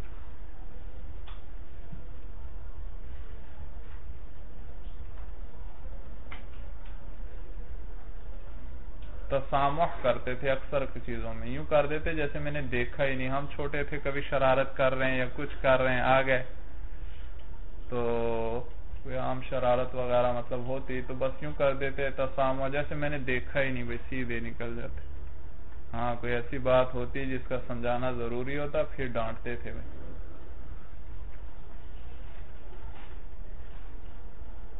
اسی لیے تسامح کرنا چاہیے بھائی۔ ہر بات کے پیچھے پڑنا، ہر بات کے پیچھے پڑنا یہ درست نہیں ہے۔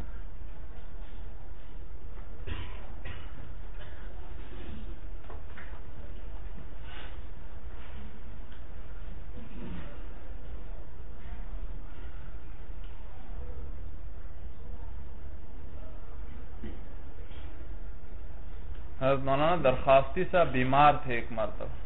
حضرت شیخ کے جاہ و جلال سے یوں معلوم ہوتا تھا، لوگ سمجھتے تھے شاید ان میں بڑا تکبر ہے۔ باتیں بھی سنتے تھے لوگ کبھی کچھ کہتا، کوئی کچھ۔ کیونکہ مخالفین تو ہر ایک کے ہوتے ہیں، بھائی آپ جانتے ہیں، امام ابو حنیفہ رحم اللہ تھے، بھائی ان کتنے جتنے وہ بڑے تھے، اتنے مخالفین زیادہ۔ تو مخالفین کہتے تھے، دیکھا کتنا تکبر ہے۔ لیکن جب بڑوں کے سامنے آتے، ہمیں پھر پتا ہوتا، چلتا، پھر اندازہ ہوتا، اس شخص میں کتنی آجزی ہے، کتنی آجزی ہے کہ بیان سے باہر ہے۔ حضرت مولانا خان محمد صاحب گھر میں تشریف لائے ایک مرتبہ۔ اور باتیں ہوتی رہیں، بیٹھے رہے۔ جب جانے لگے، والد صاحب آگے ہوئے تیزی سے اور حضرت کے جوتے سیدھے کر دیے۔ جوتے سیدھے کر حالانکہ کبھی ایک بڑا عالم ہو، وہ ایک دوسرے کون کرتا ہے بھائی؟ وہ بھی شیخ الحدیث ہیں اور امام دنیا، وہ آگے ہوئے جوتے سیدھے کر دی کتنی عاجزی کی بات۔ اور پھر مولانا خان محمد صاحب نے بھی عجیب جملہ ارشاد فرمایا۔ ایک دم جوتے پہنے لگے، والد صاحب نے سیدھے کریے تو کھڑے ہو گئے۔ فرمایا، حضرت، یہ جوتے تو اب سر پر رکھنے کے قابل ہو گئے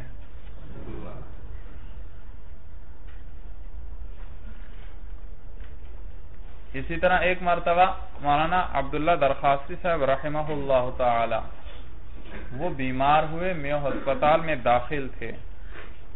تو وہاں انہوں نے کسی طالب علم کو بھیجا والد صاحب کو بلوانے کے لیے،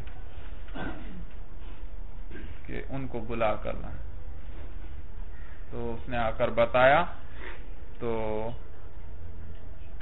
والد صاحب آجزی کا حالت آپ دیکھیں، بار بار کہتے ہیں، پوچھ رہے ہیں۔ کیا واقعی حضرت درخواستی صاحب نے مجھے بلایا بھائی؟ بھائی، کیا میرا نام لے کر بلایا انہوں نے؟ اتنی خوشی کے بیان سے باہر ہوئے۔ پھر چل گئے، ملنے گئے وہاں۔ حضرت درخواستی صاحب کے پاس بیٹھے بھائی۔ وہ بستر پر لیٹے ہوئے ہیں اسپتال میں، یہ ساتھ ہی بستر پر بیٹھے، حضرت کا ہاتھ تھاما ہوا ہے، اور باتیں ہو رہے ہیں۔ باتوں باتوں میں بہت خوشی میں تھے کہ حضرت درخواستی صاحب نے مجھے بلوایا تو فرمانے لگے کہ حضرت آپ کو ایک عجیب واقعہ آج سناؤں، میں نے کبھی آج تک کسی کو نہیں سنایا۔ اور پھر فرمانے لگے کہ جب میں پہلی مرتبہ حج کے لیے گیا، غالباً سن چوہتر میں پچہتر میں گئے حج۔ جب میں پہلی مرتبہ حج کے لیے گیا تو کسی طرح کوشش کرتے کرتے میں میدان بدر تک پہنچ گیا۔ میدان بدر تو بہت دور ہے بھائی، شہر سے باہر۔ میں میدان بدر تک پہنچ گیا بھائی۔ اور یہ فرما رہے اور آہستہ والد صاحب کی جیسے ان پر رقت تاری ہوتی جا رہی تھی۔ اور پھر فرمایا کہ حضرت وہاں پہنچ کر میں نے میدان بدر میں کھڑے ہو کر دعا کی۔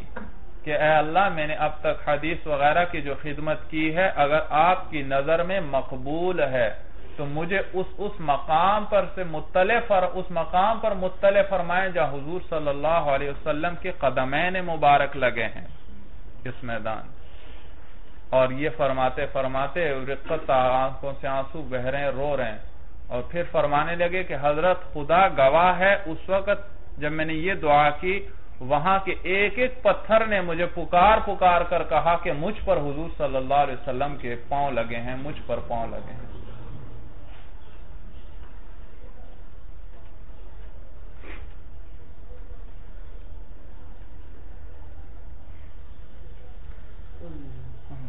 چلیے جی بس کافی ہیں بھائی۔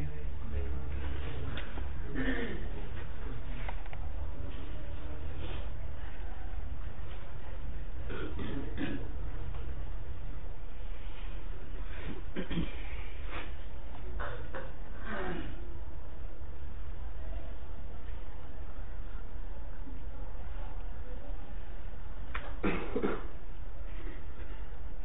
تو اور حضرت شیخ صاحب بیعت جو تھے وہ یہ آخر میں پیر علاء الدین صاحب ہوتے تھے شیخ پورا میں۔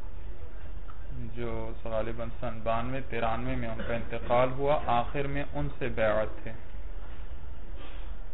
آخر اس سے پہلے کسی اور سے بیعت تھے، ان کا انتقال ہوا۔ اس سے پہلے حضرت مولانا شمس اللہ قافانی رحم اللہ وغیرہ ان کئیوں سے بیعت تھے۔ جن سے انتقال ہوتا تو کسی اور سے بیعت ہو جاتے۔ تو خلافت کئیوں سے خلافت ملی ہوئی تھی، لیکن خود وہ بیعت وغیرہ کا سلسلہ نہیں تھا، کوئی خلیفہ ان کا نہیں۔ فرماتے تھے، بھائی ہمارا کام یہ تدریس و تعلیف ہے، تو دوسرے کام کے لیے وقت نکالنا مشکل اگر وہ شروع کرتے ہیں تو پھر اس کے لیے وقت نکالنا مشکل ہے۔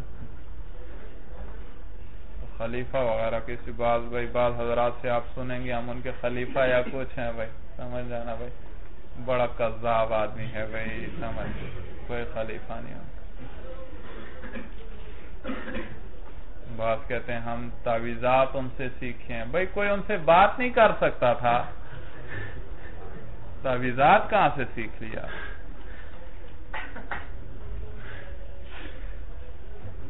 لوگ بھی عجیب ہیں۔ تو پیر علاء الدین صاحب ان کو دیکھتے ہی ان سے والد صاحب کی پہلی ملاقات سے مولانا، انہوں نے فوراً محسوس وہ انوارات ان کے محسوس کر لیے۔ کہ یہ کوئی عام شخص نہیں ہے، عام پیر نہیں ہے، فوراً ان سے بیعت ہو گیا۔ ساتھ ایک شاگرد تھا، اس کو بھی کہا، فوراً بیعت ہو جاؤ ان سے۔ وہ عالم نہیں تھی، لیکن انہوں نے بڑی دین کی خاطر مشقتیں برداشت کی تھیں۔ بہت دولت مند خاندان سے تعلق تھا، لیکن دین کی خاطر سب کچھ ٹھکرا دیا بھائی۔ ساری چیزیں چھوڑ دیں بھائی۔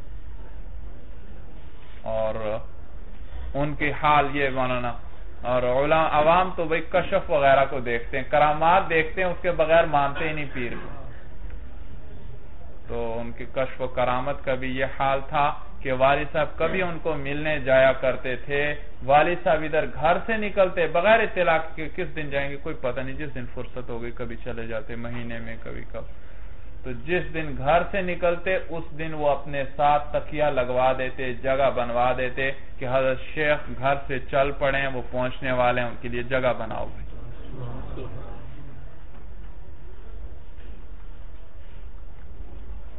جگہ بناؤ۔ اور جگہ بناؤ۔ اور وہ اتنے بڑے ولی تھے، ان کا آپریشن ہونے لگا، پتہ نہیں گردے کا یا کس چیز کا آپریشن تھا۔ جی۔ آپریشن تھا تو ڈاکٹر ان کے ڈاکٹر بڑے بڑے مرید، انہوں نے کہا کہ حضرت ہم آپ کا آپریشن کرتے ہیں، سارا انتظام کر دیتے ہیں تکلیف ختم ہو جائے گی، بس آپریشن آپ کروا لیں۔ وہ راضی نہیں ہوتے تھے۔ بڑی مشکل سے ان کو تیار کیا۔ تو تیار کرنے کے بعد پھر فرمایا کہ آپریشن کے لیے جب آئے تو فرمایا کہ حضرت یہ ہم نے سارا انتظام کر دیا اور یہ خون وغیرہ کا بھی ہم نے بندوبست کر دیا۔ آپ کے لیے اگر خون کی ضرورت پیش ہے آپریشن۔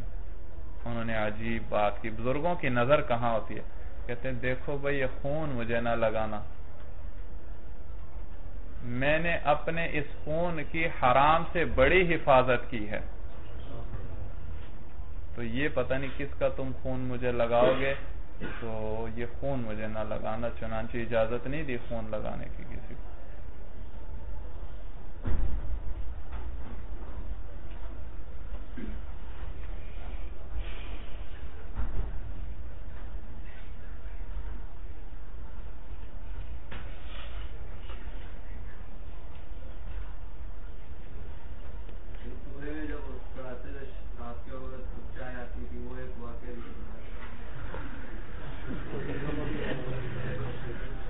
آج سارے واقعات سننے؟ ہاں؟ یہ کس نے بھائی؟ یہ کیا لکھا ہے؟ مجھے تو نہیں سمجھ نہیں آ رہا۔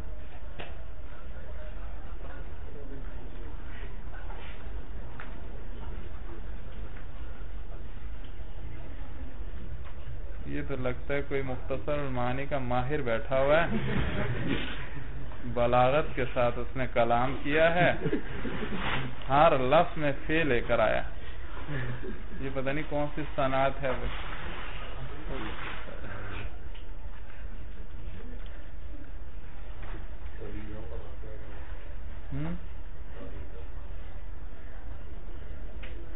تعویزات میں ان کے اللہ نے بڑا اثر رکھا تھا۔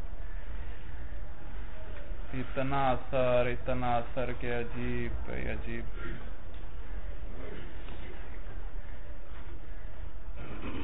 جو آتا اس کا کام ہو جاتا۔ جس کو ڈانٹتے تھے اس کا بھی کام ہو جاتا۔ ہاں۔ کئی لوگوں نے ہمیں وفات کے بعد بتلایا کہ ہم آتے صرف اس لیے تھے، جان بوجھ کر کوئی غلطی کرتے، وہ ہمیں سخت ڈانٹ دیتے۔ اگلے دن ہمارا کام ہو جاتا۔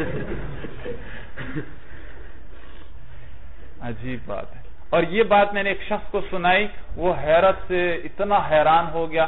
میں نے اس کو کہا کہ بھائی بعض لوگوں نے ہمیں یہ بتایا کہ ہم آتے اس لیے تھے تاکہ ہم کوئی بے ادبی والا کام ہم سے اور یہ ہمیں ڈانٹتے۔ ہیں بس ڈانٹتے تھے اور ہمارا کام ہو جاتا تھا۔ وہ شخص میری بات سن رہا تھا۔ وہ ایک دم حیران ہو کر میری طرف دیکھنے لگا۔ کہتا ہے، یہ تو پھر میرے ساتھ بھی ہو چکا ہے۔ کہتا ہے، ہم آئے تھے حضرت شیخ صاحب کے پاس اور کسی واسطے وغیرہ تعلق بھی تھا۔ تو آئے۔ تو ہم نے ذکر کیا کہ حضرت ہمارا ایک مدرسہ ہے، اس مدرسہ بنات کا مدرسہ بنایا، اس میں ہم نے ایک استانی کو رکھا۔ اب وہ استانی اس مدرسے پر قبضہ کر رہی ہے، نکلتی نہیں ہے۔ قبضہ کر لیا اس نے۔ آپ کوئی ہمیں ایسا تعویز دیں کہ وہ وہاں سے چلے۔ جان چھوٹے ہمارے، اس نے تو پورا قبضہ کر لیا۔ تو حضرت شیخ صاحب کو یہ آ کر کہا، تو انہوں نے ہمیں بڑا سخت ڈانٹ دیا۔ کہ جاؤ بھائی، ایسے تعویذ میں نہیں دیتا۔ میں کیوں ایسا تعویذ دوں کہ وہ نکل جائے وہاں سے؟ تو اس میں کسی کا نقصان تھا، اس لیے اس قسم کا تعویذ وہ کبھی نہیں دیتے تھے، جس میں کسی کا ذرہ برابر بھی نقصان ہوتا۔ تو کہتے میں ایسا تعویذ نہیں دے سکتا تو بہت سخت ہمیں ڈانٹ کے نکال دیا، ہم پریشان واپس آ گئے کہ لو جی ہمارے ہمیں تعویذ ہی نہیں دیا۔ اور کہتے ہیں اب مجھے یاد آ رہا ہے کہ انہوں نے جو ہمیں ڈانٹا تھا واقعی دوسرے دن وہ استانی خود ہی چھوڑ کر چلی گئی۔ تو ہم تو یہ سمجھ رہے تھے کہ انہوں نے تعویذ نہیں دیا ہمارا کام نہیں ہوا۔ تو آج اب سمجھ میں آئی جب آپ نے بات بتائی کہ دوسرے دن خود ہی چھوڑ کر چلی گئی۔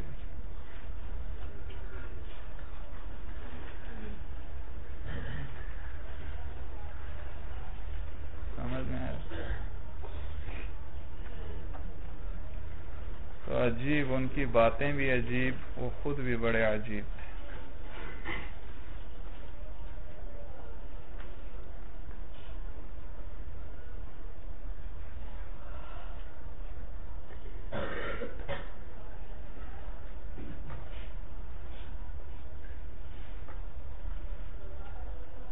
تعویزات میں بڑا اثر تھا، بہت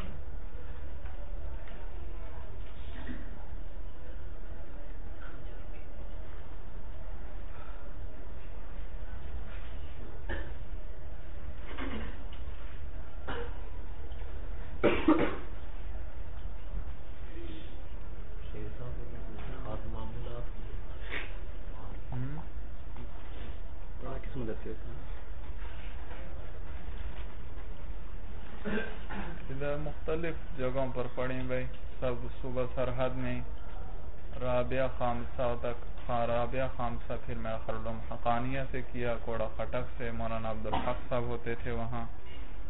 اور رابعہ خامسہ میں کہتے ہیں، وہاں جب بزم ہوا کرتی تھی طلبہ کی، تو وہ شیخ رابعہ خامسہ میں تھے۔ تو اس وقت وہ عربی کے اندر تقریر کیا کرتے تھے، طالب علمی میں۔ اور اس زمانے میں عربی کے اشعار بھی کہا کرتے تھے۔ رابعہ خامسہ بھی اور دیوبند سے بڑے بڑے علماء آئے، بڑے بڑے مولانا مولانا حسین احمد مدنی رحم اللہ وغیرہ وغیرہ، بڑے بڑے علماء آئے دارالعلوم حقانیہ میں بہت بڑا جلسہ ہوا، تو وہاں پر پھر حضرت شیخ صاحب سے کہا، انہوں نے مدرسے والوں نے کہ ان کے آنے پر کوئی استقبال کے طور پر کچھ اشعار آپ ہمیں لکھ کر دیں، جو ہم پھر پڑھیں گے۔ چنانچہ انہوں نے لکھ کر دیے اشعار اور پھر وہ مجلس کے اندر پڑھے گئے۔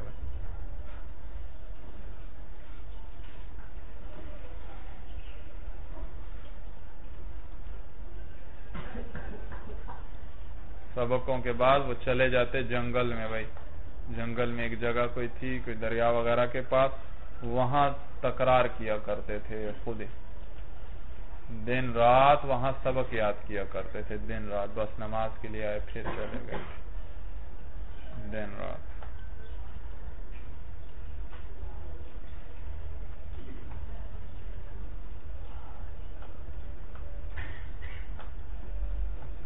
خود ایک جگہ انہوں نے کاپی میں ان کے لکھا ہوا دیکھا، جس کو غالباً پھر انہوں نے کاٹ کر ختم بھی کیا تھا۔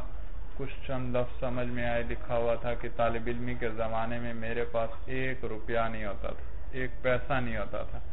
اتنی غربت تھی، اتنی غربت تھی کہ بیان سے باہر ہے بھائی۔ بیان سے باہر۔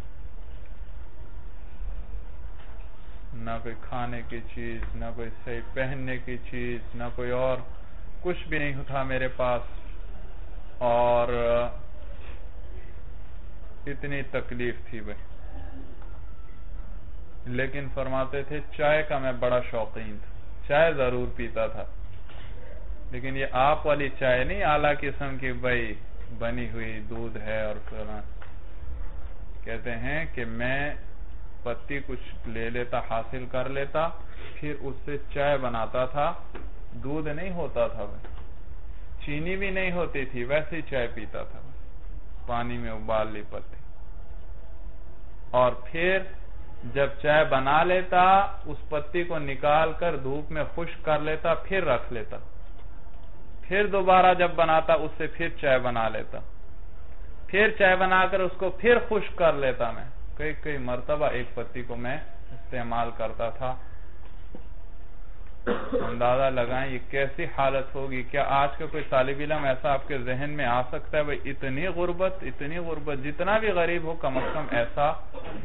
لیکن کہتے تھے اتنی غربت کے باوجود کبھی خلوت میں بھی شکوا نہیں آیا کہ اللہ، تو نے مجھے اتنا غریب کیوں بنایا؟ کبھی خلوت میں بھی شکایت نہیں آئی زبان اور کہتے ہیں جتنے حالات تھے، معلوم ہوا یہ سب میرے علم کی تحصیل میں کیا تھے؟ معاون تھے اور مددگار تھے بھائی۔ اللہ خود ایسے اسباب بنا رہا تھا کہ دنیا میں کسی کو نہ اپنا دوست بنایا، نہ دوست بناؤ، نہ کسی کو اپنا ساتھی بناؤ، نہ کسی اور کی طرف توجہ کرو۔ بس پھر میری توجہ، کامل توجہ میں کس کی طرف کرتا تھا؟ علم کی طرف۔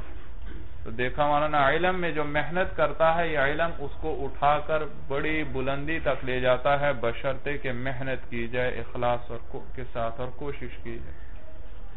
سمجھ میں آیا؟ تو آپ لوگ بھی محنت کریں، کوشش کریں۔ یہ نہیں ہو سکتا کوشش کبھی آپ کی ضائع چلی جائے۔ ہاں یہ ہو سکتا ہے کہ اس کا محنت کا پھل دیر سے ملے، لیکن ملے گا ضرور، اللہ دیتے ضرور ہیں۔ جیسے انسان کے ارادہ ہو، امید ہو اس کے مطابق اللہ دیتے ضرور ہیں، چاہے کبھی کچھ دیر ہی کیوں نہ ہو جائے۔ اور آخرت میں تو ملنا ہی ملنا ہے۔ تو دعا کرو بھائی اللہ تعالی ہمیں بھی ان کے نقش قدم پر چلائے اور ہمیں بھی اسی طرح علم و عمل کی دولت سے مالا مال فرمائے۔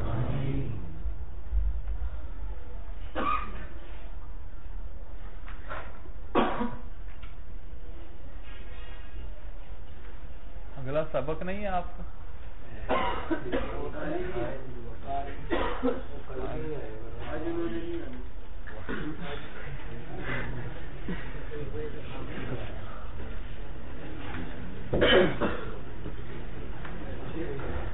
چلو بھائی، بس کرتے ہیں۔ باقی پھر کبھی انشاءاللہ کچھ سنائیں گے آپ کو انشاءاللہ۔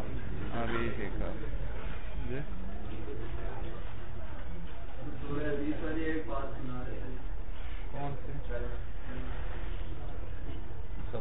ہاں سبق میں وہ چائے کے کبھی کبھی بھائی سبق میں بھی چائے منگوا لیتے، دورہ حدیث کے اندر سبق ہوتا، کسی طالب علم کو گھر بیچتے، وہ چائے لے آتا بھائی۔